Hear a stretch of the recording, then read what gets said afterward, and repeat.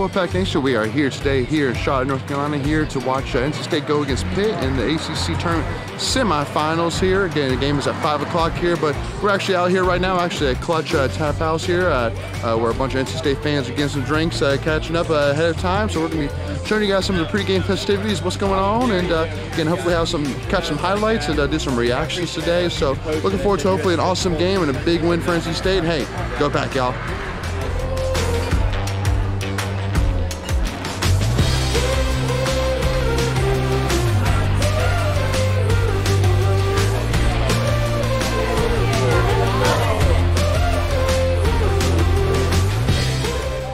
All right, Greg. Tell the viewers, man, what, what you got score prediction for the day? 6-3 Pack. 6-3. Okay. All right. I'm gonna go with. I'm gonna go with seven to four. I like that number. Seven to four. Three run spread either way. Yeah, three red spread. I like it. Go pack. Woo!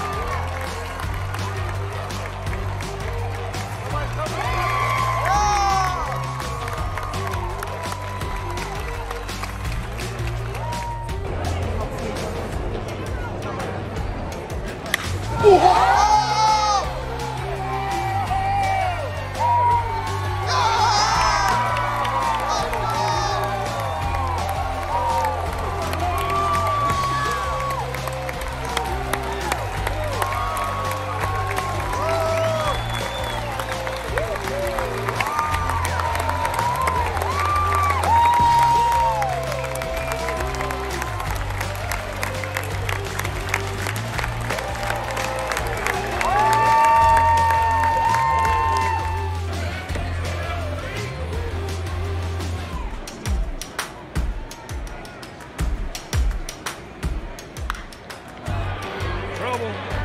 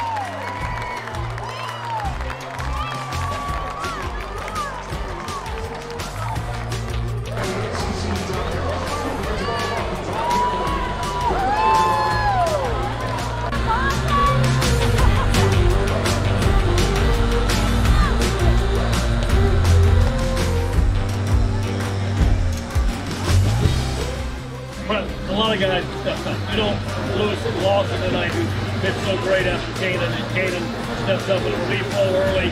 Then he had to go in the starting role, so he played so many roles. Uh, still a lot of guys stepping up, but like I said, they just stuck with it, and I think it's a great, great tribute to this team that did.